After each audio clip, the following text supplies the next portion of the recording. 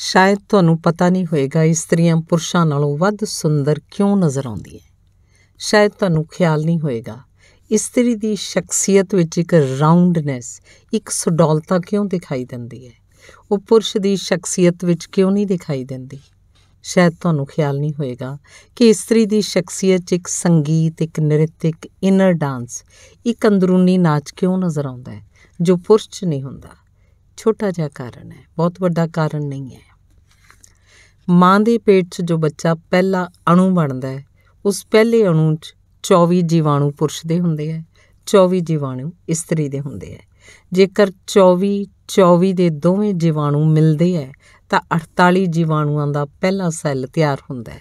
48 cell ਨਾਲ ਜੋ ਪ੍ਰਾਣ ਪੈਦਾ ਹੁੰਦਾ ਹੈ, ਉਹ ਇਸਤਰੀ ਦਾ ਸਰੀਰ ਬਣ ਜਾਂਦਾ ਹੈ।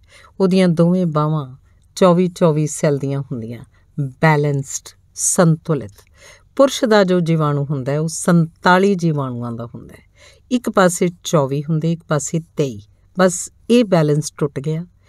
ਉੱਥੋਂ ਤੋਂ ਹੀ ਸ਼ਖਸੀਅਤ ਦਾ ਸੰਤੁਲਨ ਟੁੱਟ ਗਿਆ ਹਾਰਮਨੀ ਟੁੱਟ ਗਈ। ਇਸਤਰੀ ਦੇ ਦੋਵੇਂ ਪਾਲੜੇ ਸ਼ਖਸੀਅਤ ਦੇ ਬਰਾਬਰ ਸੰਤੁਲਨ ਦੇ ਹਨ। ਉਸ ਨਾਲ ਇਸਤਰੀ ਦੀ ਸਾਰੀ ਸੁੰਦਰਤਾ, ਉਹਦੀ ਸੁਡੌਲਤਾ, ਉਹਦੀ ਕਲਾ, ਉਹਦੀ ਸ਼ਖਸੀਅਤ ਦਾ ਰਸ, ਉਹਦੀ ਸ਼ਖਸੀਅਤ ਦਾ ਕਾਬ ਪੈਦਾ ਹੁੰਦਾ ਹੈ ਤੇ ਪੁਰਸ਼ ਦੀ ਸ਼ਖਸੀਅਤ ਵਿੱਚ ਜ਼ਰਾ ਕੁ ਕਮੀ ਹੈ। ਉਹਦਾ ਇੱਕ ਪਲੜਾ 24 ਜੀਵਾਣੂਆਂ ਤੋਂ ਬਣਿਆ ਹੈ। ਮਾਂ ਤੋਂ ਜੋ ਜੀਵਾਣੂ ਮਿਲਦਾ ਹੈ, ਉਹ 24 ਦਾ ਬਣਿਆ ਹੋਇਆ ਹੈ। ਪੁਰਸ਼ ਤੋਂ ਜੋ ਮਿਲਦਾ ਹੈ, ਉਹ 23 ਦਾ ਬਣਿਆ ਹੈ।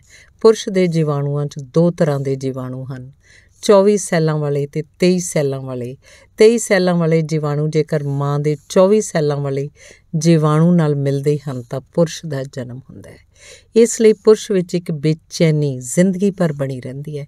ਇੱਕ ਇੰਟੈਂਸ ਡਿਸਕੰਟੈਂਟ ਬਣਿਆ ਰਹਿੰਦਾ ਹੈ। ਕੀ ਕਰਾਂ, ਕੀ ਨਾ ਕਰਾਂ, ਇੱਕ ਚਿੰਤਾ, ਇੱਕ ਬੇਚੈਨੀ, ਇਹ ਕਰ ਲਵਾਂ, ਉਹ ਕਰ ਲਵਾਂ। ਪੁਰਸ਼ ਦੀ ਜੋ ਬੇਚੈਨੀ ਹੈ ਇੱਕ ਛੋਟੀ ਜੀ ਘਟਨਾ ਤੋਂ ਸ਼ੁਰੂ ਹੁੰਦੀ ਹੈ। ਤੇ ਉਹ ਘਟਨਾ ਹੈ ਕਿ ਉਹਦੇ ਇੱਕ ਪਲੜੇ 'ਚ ਇੱਕ ਅਣੂ ਘਟ ਹੈ। ਉਹਦੀ ਸ਼ਖਸੀਅਤ ਦਾ ਬੈਲੈਂਸ ਘਟ ਹੈ। ਇਸਤਰੀ ਦਾ ਬੈਲੈਂਸ ਪੂਰਾ ਹੈ। ਇਸਤਰੀ ਦੀ ਹਾਰਮਨੀ ਪੂਰੀ ਹੈ।